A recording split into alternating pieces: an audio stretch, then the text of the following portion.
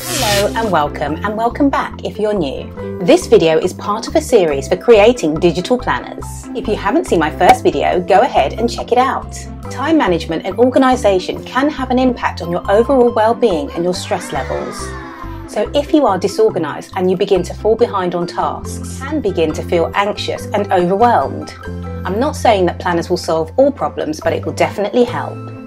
This is what I use to stay on top of things in and outside of work I think it's important to go through the basics of digital planning in separate videos so that each video isn't too long. In this video, I'm going to show you how to create your own binders using Keynote. Don't forget to subscribe so that you don't miss future videos from me. Right, on with the video.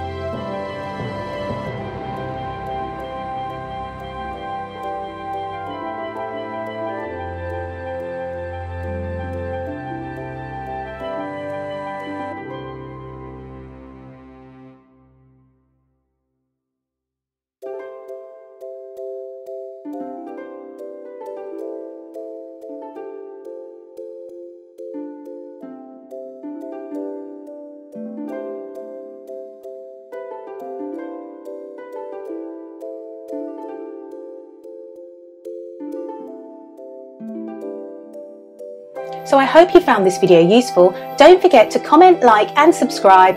Thank you for watching.